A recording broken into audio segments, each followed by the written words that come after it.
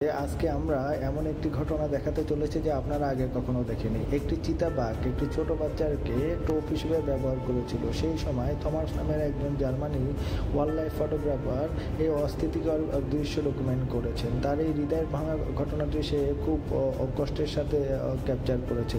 কোনো প্রাপ্তবয়স্ক বানর এগিয়ে আসেনি বাচ্চাটাকে বাঁচাবার জন্য। সেই সময় থমাস এবং সময়ের টিম চলে যেতে হয়েছিল। কিন্তু শিশু বানরটি এখনও বেঁচে আছে।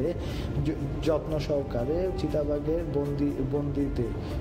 আপনাদের মাঝে আমাদের এখন একটি প্রশ্ন থাকবে, শেষ পরিণতি শিশু বানরটি কী হয়েছে? আমাদেরকে কমেন্ট করে জানাতে ভুলবেন না। আর হ্যাঁ এমন অদ্ভুত এবং মজার ভিডিও পাওয়ার জন্য আমাদেরকে অবশ্যই লাইক এবং কমেন্ট করবেন এবং আমাদের চ্যানেলটি সাবস্ক্রাইব করতে ভুলবেন না।